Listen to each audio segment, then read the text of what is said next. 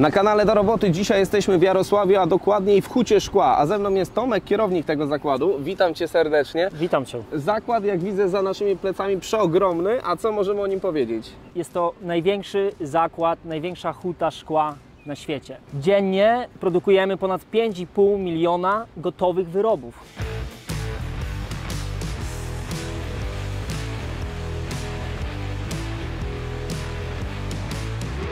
Będzie pokazany drugi nasz e, zakład e, w korporacji w Poznaniu, który również e, pokaże Wam, e, jak zautomatyzowany jest zimny koniec i e, ta dalsza część procesu. Na razie jeszcze mi nic to nie mówi, pewnie widzą też, dlatego zostańcie koniecznie do końca materiału, żeby dowiedzieć się, jak od tego surowca przejść do gotowych wyrobów, na przykład butelek czy słoików. A ja teraz przechodzę na szkolenie BHP. Tak, koniecznie. Okej, to lecimy do roboty. Witam Cię Aneta serdecznie. Cześć, Co prawda w wielu zakładach produkcyjnych już byłem, ale wiem, że trzeba przejść szkolenie BHP. Tak. Jako nasz gość e, musisz zostać zapoznany z zasadami, jakie u nas funkcjonują. E, musisz poznać zagrożenia, żeby się zabezpieczyć. Dlatego też zostaniesz wyposażony w odpowiednie środki ochrony, żeby móc bezpiecznie poruszać się po naszym zakładzie.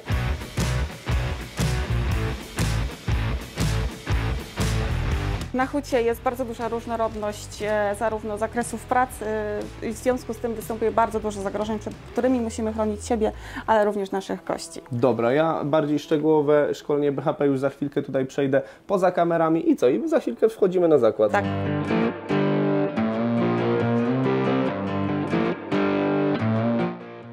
Pojawił się teraz Grzesiek, witam Cię Cześć. serdecznie. Jesteśmy w miejscu, które robi wrażenie. Jeszcze ze szkłem to nie ma za dużo wspólnego. Gdzie jesteśmy i co tutaj się robi? E, Jesteśmy na obiekcie tak zwanym zestawiarnią. E, Jest to główny obiekt, gdzie można powiedzieć zaczyna się cała produkcja. E, Są tutaj dostarczane i przechowywane surowce, z których potem robimy szkło.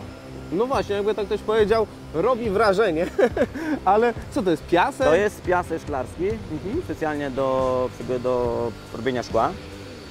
Jak widać jest dużo, nie? No, Powiedziałbyś. Tak, Jest mało. mało jest. Mało. Na składowisku możemy pomieścić 50 tysięcy ton piasku. Transport kolejowy. kolejowy. Kolejowy, tak, tak. Mhm. Takie ilości piasku tylko kolejowy. I to jest piasek skąd? Bo może wie- widzowie też nie wiedzą, że w ogóle szkło się robi z piasku, prawda? No tak, Ale tak. E, szkło się robi przeważnie, to jest większy udział, to jest piasku. E, y, piasek od nas to przyjeżdża z Piotrków Trybunalskich, tam są takie kopalnie e, różnego piasku.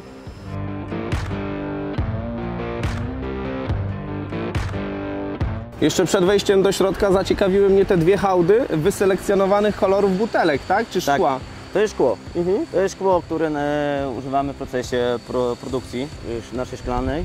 E, przy, jak zmieniamy kolor, Mhm. to wykorzystujemy wtedy więcej danego koloru, żeby proces zaszedł szybciej. Aha, czyli tam, tam ten tłuczeń był powiedzmy pomieszany, a tutaj zielony. Ogólnie uży- używamy produkcji ciągłej, sztuczki mieszanej, czyli odpowiedniej tam zawartości odpowiednich kolorów, e, które z tą specyfikacją mamy określoną, ale stricte na, jak potrzebujemy zmiany koloru, wtedy dajemy intensywnie tego koloru. Aha, czyli podjeżdża Tego. tu powiedzmy maszyna, Tak. zabiera to dalej Ładujemy na produkcję. tak i trafia do nas i przerabiamy to, podajemy.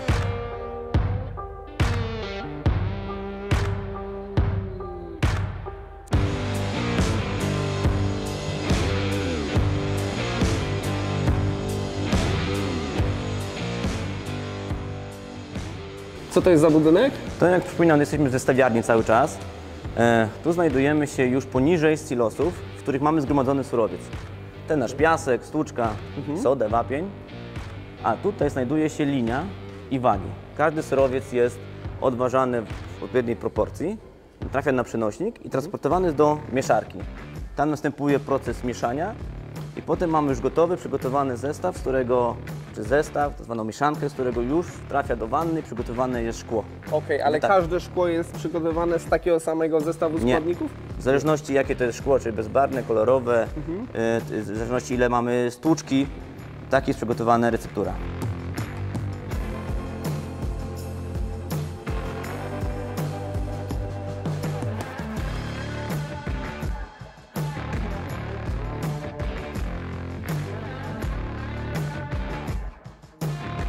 Stąd, jak już mamy te składniki nasypane na, na taśmę, przechodzimy gdzie? Do, do pomieszczenia mieszarek, tam są duże mieszarki gdzie to się zmiesza. Czyli jesteśmy na końcu tego procesu, wszystkie silosy naważyły nam odpowiednie składniki, a tu jest mieszadło, które te składniki Tak, wymiesza. tak, dokładnie musi wymieszać, żeby było jednolity, e, już gotowa mieszanka, Mhm. Ale to jednolita. jest suchy surowiec. E, suchy, tak. Suchy. I to jest już dalej y, kolejnym taśmociągiem? Tak, po prostu później spada on do zbiornika takiego zwanego buforowego, my nazywamy, spada na taśmę i potem z niego na taśmociąg i transportowany już, do, już jest celowo do zbiornika przywannowego. Mhm. I stamtąd już podawany do wanny. Pojemność takiego mieszadła? 4,5 tysiąca litrów. 4,5 tysiąca litrów i tak orientacyjnie ile na przykład, nie wiem, butelek można z jednego takiego mieszadła? Możemy to przeliczyć czy ciężko? Na pewno bym przeliczył technologię. Okej, dobra. Czyli Ja- tutaj jeszcze tego nie przeliczymy, ale dojdziemy do tego etapu na pewno.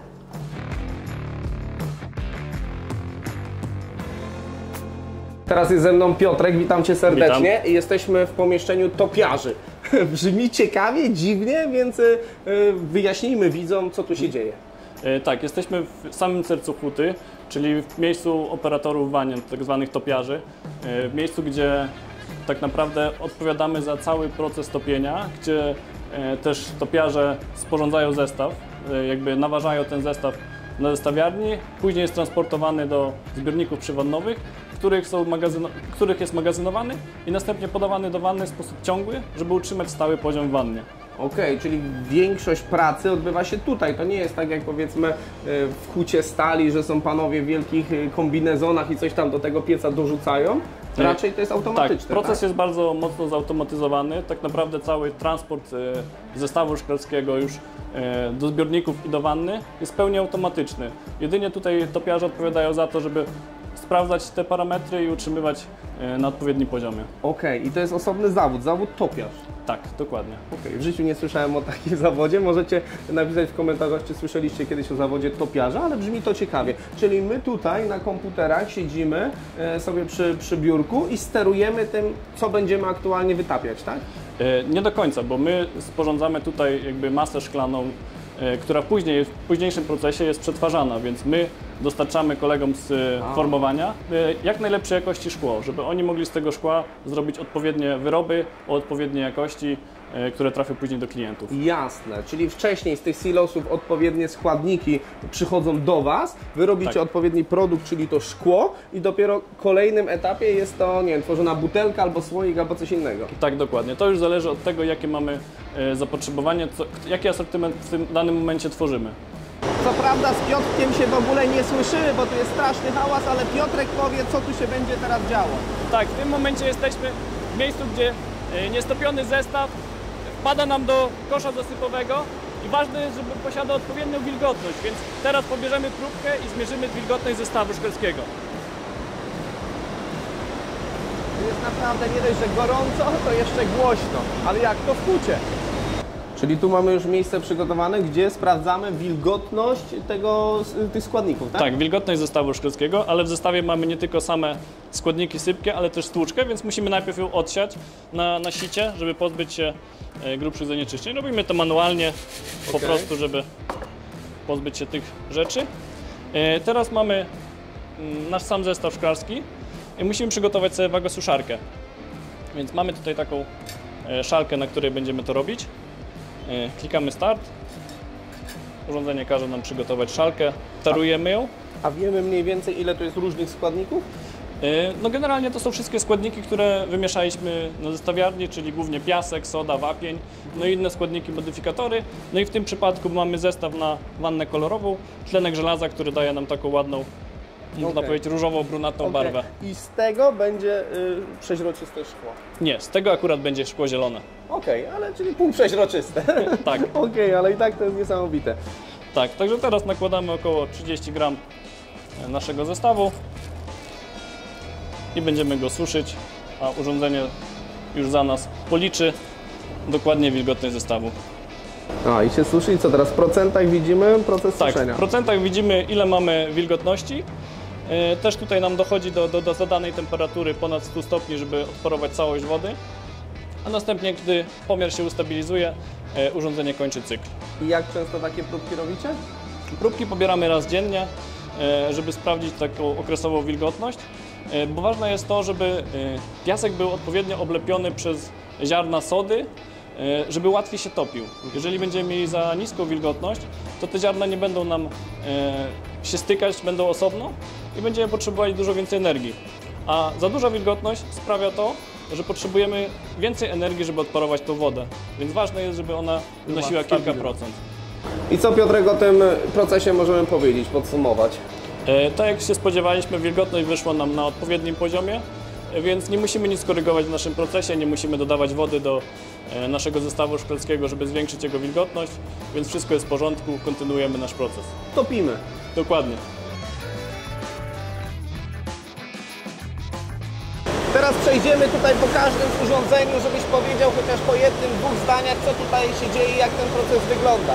Tak, teraz jesteśmy przy zasypniku zestawu, który w sposób automatyczny podaje nam cały czas zestaw szklarski do wanny, żeby utrzymać nam stały poziom szkła w wannie, nawet do poniżej pół milimetra. Także wahania szkła nie są większe niż pół milimetra. I mamy ze sobą sprzęt, którego już za chwilkę użyjemy i będziemy sprawdzali, jakie temperatury tutaj panują. Tak, dokładnie. W trakcie, gdy mamy przerwę w opalaniu wanny, możemy sobie zmierzyć temperaturę wewnątrz wanny. Będziemy teraz to robić. 1546 stopni Celsjusza. To dużo. Tak, jeżeli wejdziemy, to jesteśmy poniżej poziomu szkła. No i my generalnie sprawdzamy y, tempera temperatury kamerą termowizyjną albo termometrem na podczerwień. Wygląda to naprawdę imponująco i strasznie gorąco. Tak jak widzieliście w środku w tym piecu płomień ma około 1500 stopni Celsjusza, e, a tutaj będzie jakieś 80 chyba, nie? Myślę, że tak, bo jeżeli zmierzymy ściany naszych wanien, to mają ponad 300 stopni. No to możecie zrozumieć, jakie ciepło wydzielają tutaj na nas, więc jest naprawdę gorąco, a jesteśmy blisko tego pieca. No gorąco jak w hucie, no. Dokładnie. Nie ma inaczej.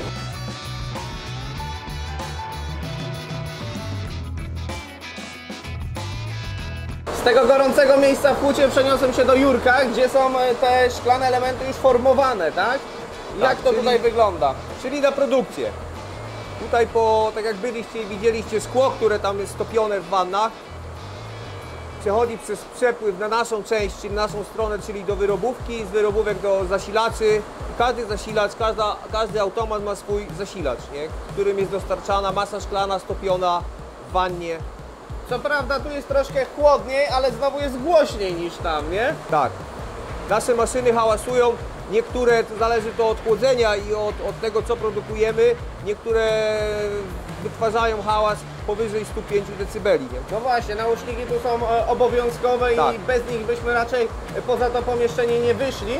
Ile tutaj jest linii produkcyjnych? E, W tej chwili w naszym zakładzie jest 15 linii produkcyjnych, na których pracuje 16 automatów.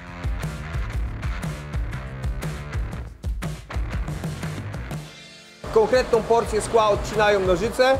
Zależy to od tego, co produkujemy, czyli waga wyrobu y, czy pojemność wyrobu, jakie produkujemy w naszym zakładzie, to jest od 80 ml do litra, więc y, y, waga wyrobu może być od 70 kilku gramów, czy nawet 68 do prawie 1000. No i szkło wpada, leci przez rynny dystrybutora, rynny rozprowadzające, łukowe i wpada do przetwormy, czyli do tej strony automatu, gdzie wstępnie jest formowana bańka. Po uformowaniu bańki, bańka jest przenoszona do formy, gdzie jest nadawany ostateczny kształt temu wyrobowi. Czy to jest słoik, czy butelka, zależy od tego już co, co jest na danym, na danym automacie produkowane. Nie? Tak jak wcześniej widziałem powiedzmy mniej ludzi, tam głównie automatyka, tak tutaj tych osób e, przy pracy jest naprawdę sporo. Co tutaj się manualnie robi? Każdy z operatorów ma e, w swoim, ob- e, w swoim obowiązkach utrzymanie na ruchu automatu i dbanie o odpowiednią jakość e, asortymentu, który jest produkowany. Automaty pracują tutaj 24 godziny na dobę, 365 dni w roku. Tak jak mówisz, że te maszyny formujące pracują cały czas, przez całą dobę, a jak to jest z tymi wannami i piecami?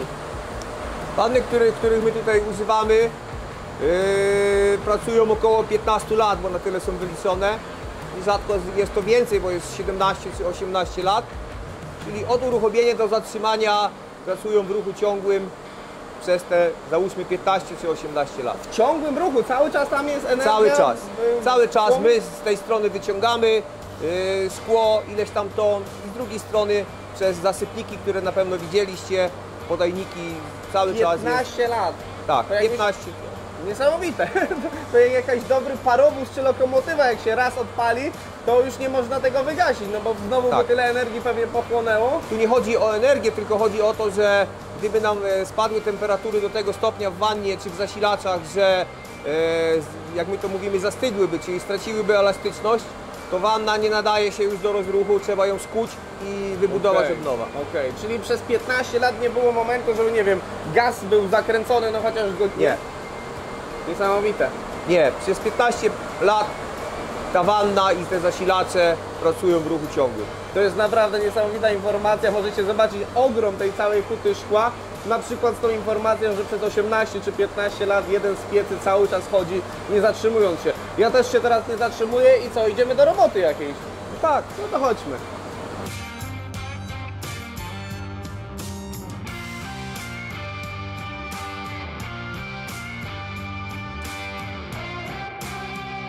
W Jarosławiu pokazaliśmy proces produkcyjny od surowców aż po formowanie. Teraz przenosimy się do Poznania, aby zobaczyć jak wygląda dalsza ścieżka tych szklanych produktów. Mariusz, jak wygląda dalszy etap produkcji tych butelek? E, Butelki po wyjściu z gorącego końca przejeżdżają przez podprężarkę, której stopniowo jest obniżana temperatura, aby zachować ich twardość e, i odprężenie.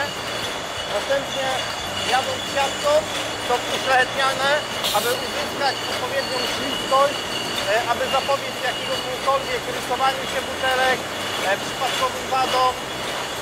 Co to znaczy uszlachetniane? Uszlachetniane są specjalnym płynem, jest to mieszanka wody i specjalnie takiego specjalnego płynu. E, można to zaobserwować na, na tym urządzeniu. E, zyskują tutaj e, głównie śliskość. Chodzi o to, żeby wyroby były na tyle śliskie, aby jeden o drugi nie było możliwości obtarcia się. A, żeby się nie porysowały. Dokładnie, nie mogą się porysować, nie mogą e, jadąc przez linię, nie mogą uderzając o siebie wywoływać wad przypadkowych. tak. I tutaj mają jaką temperaturę te butelki? Na wyjściu około 400 stopni, Jeszcze 400 stopni. około 400 stopni, potem są powoli już ochładzane, ponieważ e, płyn, żeby się żeby odpowiednio je uszlachetnił, potrzebuje co najmniej 100 stopni wyrobu. Płyn Okej. jest spryskiwany na wyroby, on odparowuje wtedy. Okej, i później etap jest jaki? Na wstępie wyroby przejeżdżają przez gniatacz, który bada ich twardość. E, Kolejnym etapem jest wjazd y, wyrobów do maszyny kontrolnej. Maszyna bada wszystkie wady, od pękań, po wtrącenia. Na e, jakiej to- zasadzie to działa? Bo widzę tu jakieś kolory jak na Dokładnie. Maszyna działa na zasadzie odbicia światła i to różnego rodzaju światła. E, Ponieważ powszechnie uznawane światło białe może być światłem pionowym albo poziomym. Przez odpowiednie zastosowanie soczewki e, jest też światło niebieskie. E, Każdy wyrób e, ma swój kod kropkowy albo alfanumeryczny. E, Ponieważ występują wady, które nie są badane przez maszyny, są wtedy po prostu zakodowywane i odrzucane z automatu. E, Cały, cały numer jest odrzucany. Po wyrzuceniu wadliwych wyrobów przez maszyny kontrolne, potocznie zwane FP, e, wyroby trafiają na urządzenia wizyjne liniowe. Jest to urządzenie, które o wiele bardziej czułe jest niż ludzkie oko. Potrafi wykrywać w szkle wady, którego my nie jesteśmy w stanie ludzkim okiem bez lupy, bez odpowiednich przyrządów, mikroskopów zobaczyć. Okej, czyli te, ten produkt, który przeszedł tamtą kontrolę, przechodzi kolejną. Przechodzi kolejną kontrolę.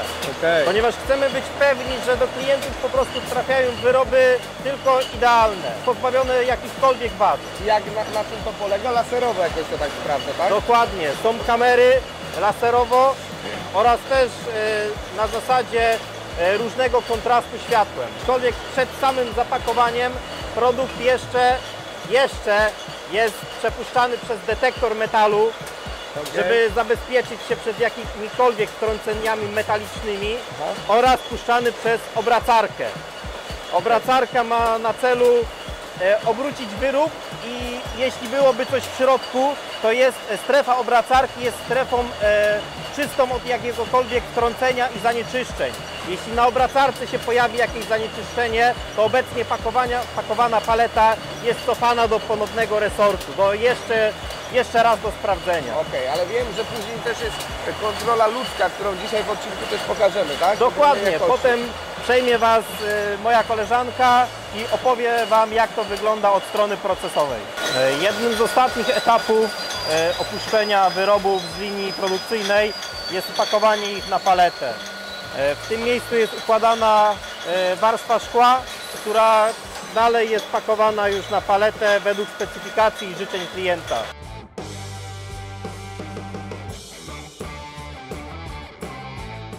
Ze mną teraz jest Marta, która pracuje na stanowisku. E, kontroler procesu oraz pakowacz gotowy. Okej, czyli jakie są tutaj Twoje zadania?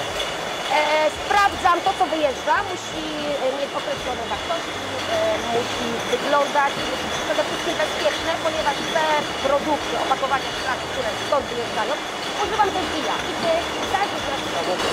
Mamy teraz nasz koszyczek i co? Zabieramy produkty do testu. Tak jest, pobierzemy sobie do sprężarki e, wyroby, żeby sprawdzić właśnie, czy nie ma jakichś bubli, które musimy natychmiast wyelimi- wyeliminować, e, żeby nie jechały do producenta. Okej, no to co? To ja Okej. trzymam koszyk, czy ja tak, wybieram? one zawsze jadą w określonych formacjach, chłopaki nam z gorącego końca wypuszczają, one sobie jadą pi razy drzwi, akurat tutaj jest godzinka czasu, pi razy drzwi one mają około 400 stopni na wlocie, tutaj są jeszcze w środku tej odprężarki podnoszona jest temperatura do około 500 stopni, no i tutaj przy wylocie samym mamy takie, widzisz, one są no razy drzwi, nie wiem, 30-40 stopni, ale można je wziąć. Patrz co mam. O, i widzisz, i To, to jest test, test organoleptyczny, widzicie? Tak, to jest trącenie. To jest trącenie, które powinno być wyeliminowane na przykład dla zgniataczy.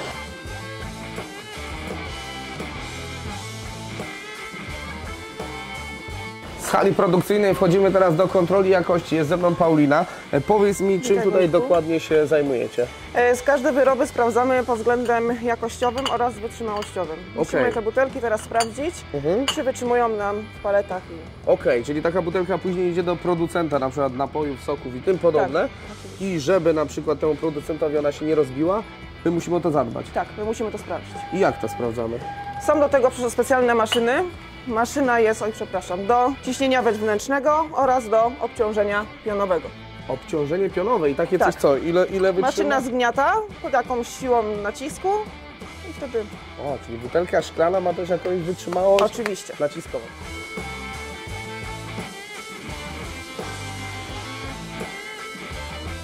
I A, teraz teraz maszyna nawija napełnia ciśnienie. ciśnienie. tak. Wybuchnie? O, Idealnie. nie wybuchło. Nie wybuchło. Na przykład tą, co będziemy sprawdzać, to ona musi wytrzymać yy, obciążenie pionowe minimum 600 kg. 600 kg szklana butelka musi wytrzymać? Matko jedyna. To dużo. Bardzo dużo. To dużo.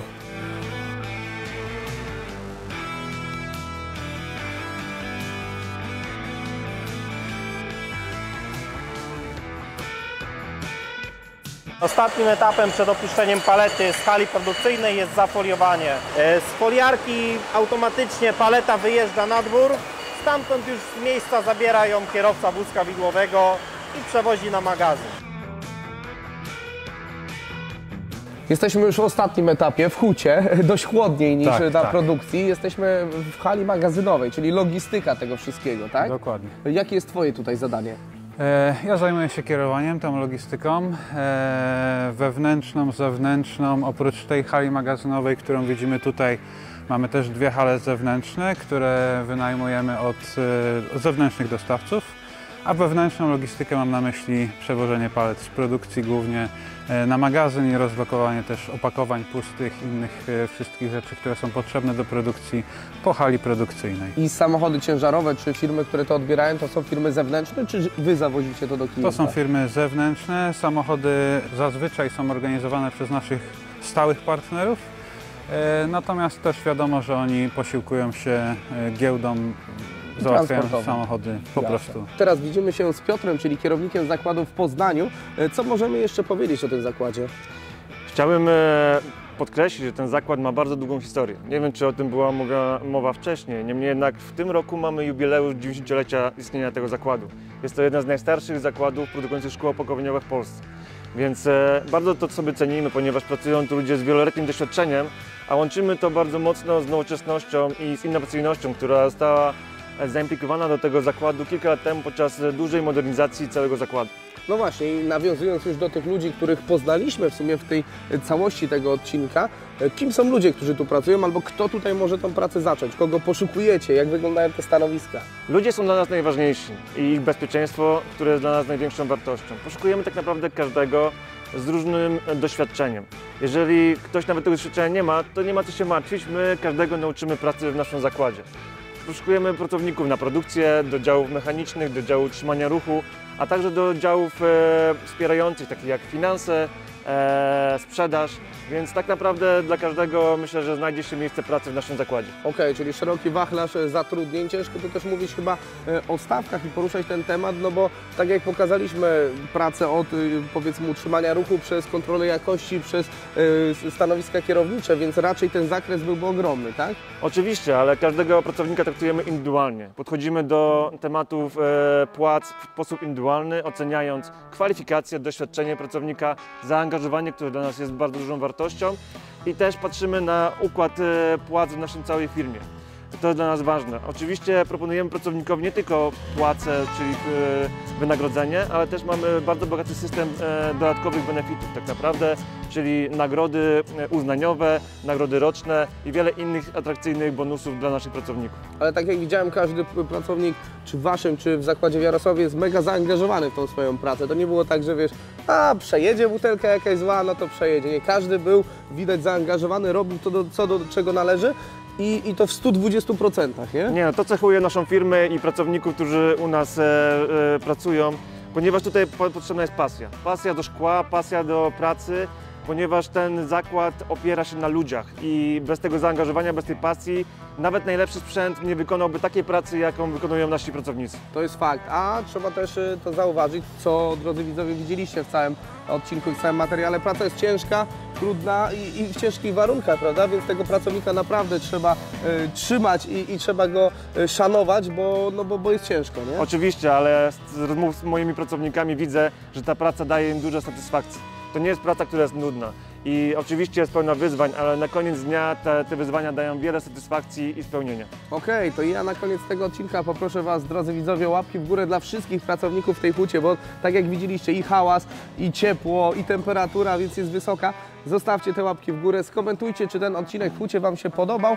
E, no i subskrybujcie kanał do roboty. Ja Tobie bardzo dziękuję za Ja zaproszenie. również dziękuję Również za odwiedziny. Waszego zakładu w Poznaniu. Myślę, że wszystkim widzom się to podobało. Dzięki bardzo. Zapraszamy serdecznie. Do zobaczenia.